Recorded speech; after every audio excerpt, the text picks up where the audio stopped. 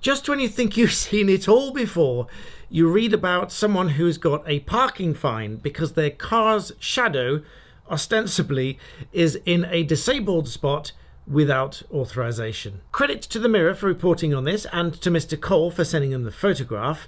It very much looks to me like the car is not in the disabled space. As you can see from this shot here, you can see the line on the floor is clearly in front of the vehicle and only the vehicle shadow is in the disabled spot. Now, Lewisham Council says that Mr. Cole's appeal was rejected initially because he didn't provide reasoning why he objected to the parking ticket. But now the council says because he has now outlined his reasons for challenging the fine, they are looking into it in line with the legal process and will let him know the outcome in due course. Now, the legal point on this is that if the appeal fails, the person has 28 days within which to pay the penalty.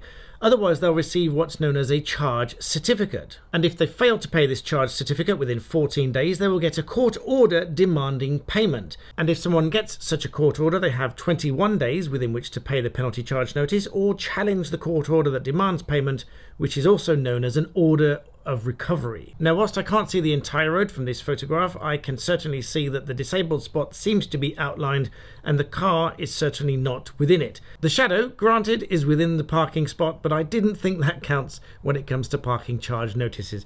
Anyway, I thought you'd find that interesting, so thank you for watching.